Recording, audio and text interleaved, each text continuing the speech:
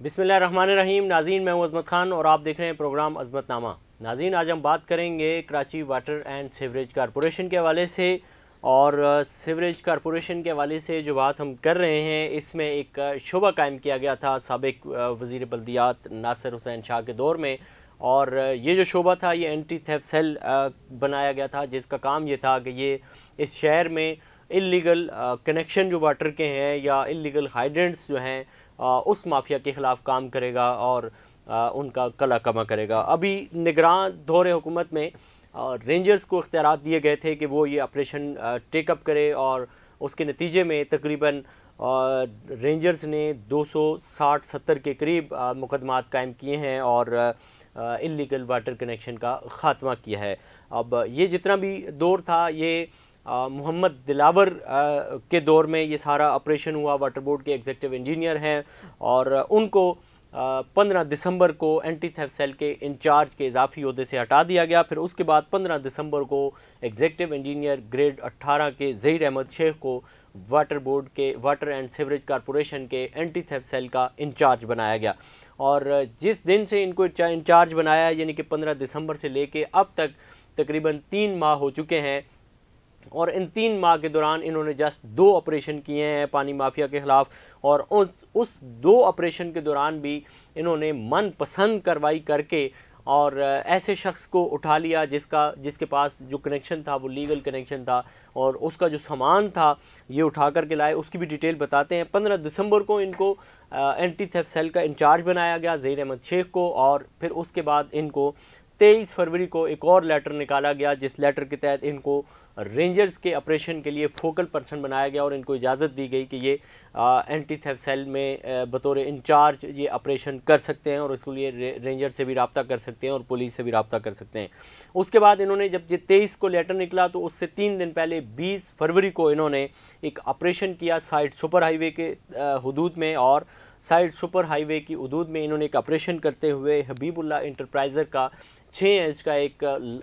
Line निकाली और बकौल हबीबुल्ला इंटरप्राइज़र के उन्होंने जो वाटर बोर्ड में एक दरख्वास्त जमा करवाई है सत्ताईस फरवरी को सीईओ वाटर बोर्ड के पास और उस दरख्वास्त में उन्होंने लिखा है कि ज़हीर अहमद शेख ने जो ऑपरेशन किया है, ये हमारा कनेक्शन लीगल था और इसमें जितना भी इन्होंने पाइप यहाँ से उठाया है, उसको ट्रकों में भर कर जो आप हमारी स्क्रीन पर वीडियो भी देख सकते हैं, ये ट्रकों में भर कर के ये जो सामान है, ये किसी नामूम मकाम पर इन्होंने मुंतकिल किया है ताकि ये इसको बेच सकें। जबकि दूसरी स्क्रीन पे भी आप हमारे ये देख सकते हैं कि ये जो पाइप आपको नज़र आ रहे हैं, बहुत बड़ी बल्क तादाद में, ये वाटर बोर्ड के कारसाज वर्कशॉप में पड़े हुए हैं, जहाँ पे एंटी थेफ सेल का दफ्तर भी मौजूद है। ये पाइप वहाँ पे इनको लाने चाहिए थे। वहाँ पे बाकायदा से गेट पे एंट्री करानी चाहिए थी कि आज कितना सामान यहाँ पर लेकर के आए हैं, जो कि कुछ भी एंट्री नहीं करवाई गई। इसके साथ साथ ज़ाहिर ये कैमरों में भी देखा जा सकता है। दूसरी तरफ़ ये है कि वाटर बोर्ड कारसाज इस वर्कशॉप के अंदर एक जनरेटर लेकर के आए, जिसकी तस्वीर भी आप देख सकते हैं। ये जनरेटर अजमल का है और अजमल ने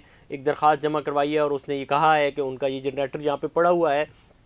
इस जनरेटर को पाँच लाख रुपए में ज़हीर अहमद शेख ने सौदा कर दिया था और फिर वो बात सामने आ गई और इस तरह से ये जनरेटर उठाया गया और उठा करके ले जाया गया और फिर उसके बाद ये जनरेटर वापस रख दिया गया। और वरना ये उसको पाँच लाख में बेच रहे थे, लेकिन बात खुल गई और ये नहीं बेच सके। अब वो जो पाइप है, जिसके बारे में ज़ाहिर है एमडी साहब के भी नॉलेज में आ चुकी है कि ये पाइप वहाँ से जो रिकवर किया है इन्होंने, वो भी नामालूम मकाम पर मुंतकिल किया है, उसको वाटर बोर्ड में लेकर के नहीं आए हैं। उसके साथ साथ जहीर अहमद शेख ने water board anti theft cell से जो लोग पैसे लेने देने के चक्कर में निकाले गए थे, उनको वापस बगैर किसी इजाज़त के बगैर अप्रूवल के वापस लाया, जिनका लेटर भी कोई नहीं है, जिसमें नुसरत है, जो जवारी है, और इसके साथ साथ इरशाद है, जो तीन साल बाकायदा एम क्यू एम के सेटअप में रहने की वजह से रेंजर्स के पास भी रहा है, उनकी तहवील में भी रहा है, फिर उसके बाद नक्शब है। इन तीनों लोगों को, और इसके अलावा दीगर भी हैं जिन, जिसके हवाले से आने वाले वक्त में हम आपको बताएँगे, इन तीनों लोगों को ये ले करके एंटी थेफसेल में आ गए हैं, और इसके ज़रिए इन्होंने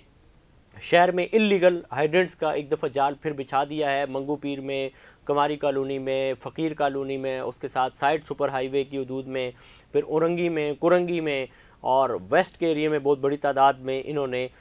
तमाम हाइड्रेंट्स को चालू कर दिया है। और अभी तक ये जो इनका रेंजर्स के फोकल पर्सन का लेटर निकला है, ये भी रेंजर्स हेडक्वार्टर में इन्होंने नहीं भेजा कि मुझे फोकल पर्सन मुकर किया है। क्योंकि अगर ये वहाँ पर भेज देते हैं तो फिर इसके बाद इनकी बाजगश्त शुरू हो जाएगी और इनको जवाब देना पड़ेगा। और जब से ये आए हैं, हमने आपको बताया है कि दिलावर के दौर में बहुत ज़्यादा ऑपरेशन हुए, दिलावर ने ऑपरेशन किए और उसके नतीजे में 260 के करीब आप अंदाज़ा करें कितने बड़े ऑपरेशन में उन पर कितना प्रेशर आया होगा, लेकिन उन्होंने बर्दाश्त किया है और माफिया के ख़िलाफ़ ऑपरेशन किया है। दूसरी तरफ़ अब सूरत हाल ये है कि जब से जैन शेख आए हैं, तब से ऑपरेशन बंद हो गए हैं। जो ऑपरेशन इन्होंने किया है, उसकी हालत भी आपके सामने हैं। कि उसकी हालत अब क्या है। और ये अजमेर के जनरेटर की भी कहानी आपको बताई। इसके अलावा भी हम दीगर चीज़ें आपके सामने वक्ता फ़क्ता रखते रहेंगे। और आपके में कराची में कोई ऐसी जगह है जहाँ पे इलीगल हाइड्रेंट चल रहा है तो आप कमेंट सेक्शन में हमें ज़रूर बता सकते हैं। इसी के साथ अपने मेज़बान अजमत खान को दीजिए इजाज़त। अल्लाह ने के बाद